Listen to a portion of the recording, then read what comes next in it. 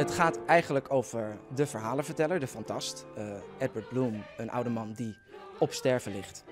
En um, zijn zoon um, gaat bijna, wordt bijna vader. Dus die zoon komt over vanuit Parijs en uh, bezoekt zijn vader en probeert zijn vader beter te leren kennen.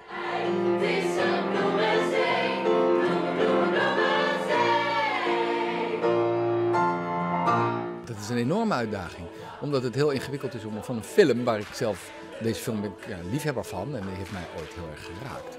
Uh, het is bijna onmogelijk om van een film die in zulke fragmenten ge gemaakt is, uh, om, daar een, om dat naar het theater te brengen.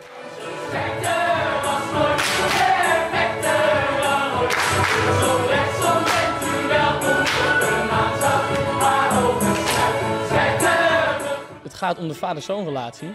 Dat vind ik gewoon te gek dat je de hele voorstelling volg je Edward en aan de zijlijn zie je hoe de zoon daarmee omgaat, hoe, hoe Edward is bij andere mensen, hoe hij uh, is tegenover zijn zoon en zijn vrouw. En uiteindelijk um, ja, leidt dat tot een heel, heel mooi einde, durf ik wel te zeggen. Ik denk dat iedereen wel een Edward kent, die verhalen vertelt, die alles groter maakt. Dus het is heel erg herkenbaar. En ik denk ook dat de relatie tussen vader en zoon herkenbaar is. Die niet altijd klopt. Of dat de zoon denkt, oh nee, waarom ben je niet eerlijk? Waarom zeg je niet wat het is?